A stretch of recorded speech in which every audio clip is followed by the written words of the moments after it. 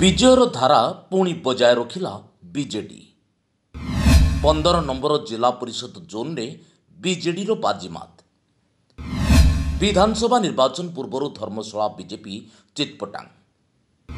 ପ୍ରଣବ ବଳବନ୍ତରାୟଙ୍କ ଉପରେ ଏବେ ବି ଆସ୍ଥା ଅତୁଟ। ବୃହତ ବିଜୟ ଉପରେ ବିଜେଡି ଶିବିରରେ ଉତ୍ସାହ।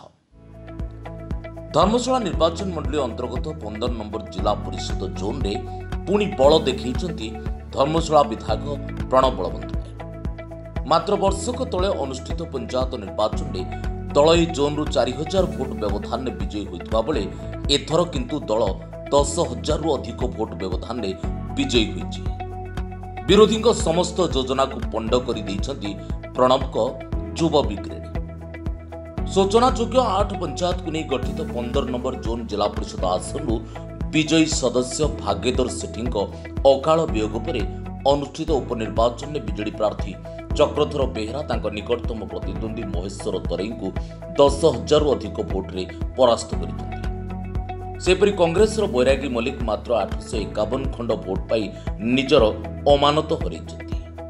ଆଉ ସବୁଠାରୁ ବଡ଼ କଥା ହେଲା ମାତ୍ର ବର୍ଷକ ତଳେ ହୋଇଥିବା ଏହି ନିର୍ବାଚନରେ ବିଜେଡି ପାଇଥିବା ଭୋଟ ଠାରୁ ଏଥର ଅଧିକ ଚଉଦ ପ୍ରତିଶତ ପାଇଥିବା ବେଳେ ବିଜେପି ଆଉ କଂଗ୍ରେସ ଯଥାକ୍ରମେ ବାର ପ୍ରତିଶତ ଆଉ ଦୁଇ ପ୍ରତିଶତ କମ୍ ଭୋଟ ପାଇଛନ୍ତି ତେବେ ଏଠାରେ ପ୍ରଶ୍ନ ଉଠିବା ସ୍ୱାଭାବିକ ମୁଖ୍ୟ ବିରୋଧୀ ଦଳ ବିଜେପିର ଏଭଳି ଶୋଚନୀୟ ପରାଜୟ ପଛର କାରଣ କ'ଣ ହୋଇପାରେ ବର୍ଷକ ତଳେ ପାଇଥିବା ଭୋଟରୁ ବାର ପ୍ରତିଶତ ଭୋଟ ଗଲା କୁଆଡ଼େ ଆଉ କାହିଁକି ଧର୍ମଶାଳା ବିଜେପିର ନେତୃତ୍ୱ ନେଉଥିବା ସ୍ମୃତିରେଖା ପହି କିନ୍ତୁ ସମସ୍ତ ଚେଷ୍ଟା ସତ୍ତ୍ୱେ ନିଜ ଭୋଟକୁ ଅଟକେଇ ପାରିଲେ ନାହିଁ ଆଉ ସବୁଠୁ ଆଶ୍ଚର୍ଯ୍ୟର କଥା ହେଲା ଗତ ନିର୍ବାଚନରେ ତାଙ୍କ ନିଜ ଗାଁ କୋତପୁର ଯେଉଁଠି ବିଜେପି ବିଜେଡି ଠାରୁ ଅଧିକ ଭୋଟ ପାଇଥିଲା ସେଠାରେ ମଧ୍ୟ ଦଳକୁ ଧୂଳି ଚାଟିବାକୁ ପଡ଼ିଛି।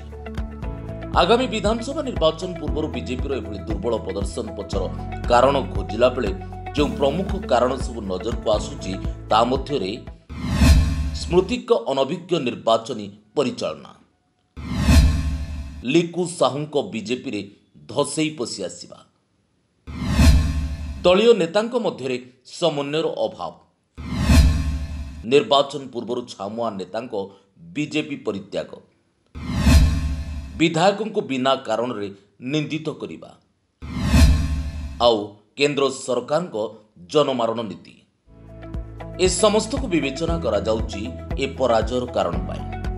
ତେବେ ଉପନିର୍ବାଚନ ଫଳାଫଳ ବିଧାୟକଙ୍କ ନେତୃତ୍ୱ ଆଉ ଲୋକପାଳି ସ୍ୱଭାବକୁ ପୁଣି ଥରେ ପ୍ରମାଣିତ କରିଛି।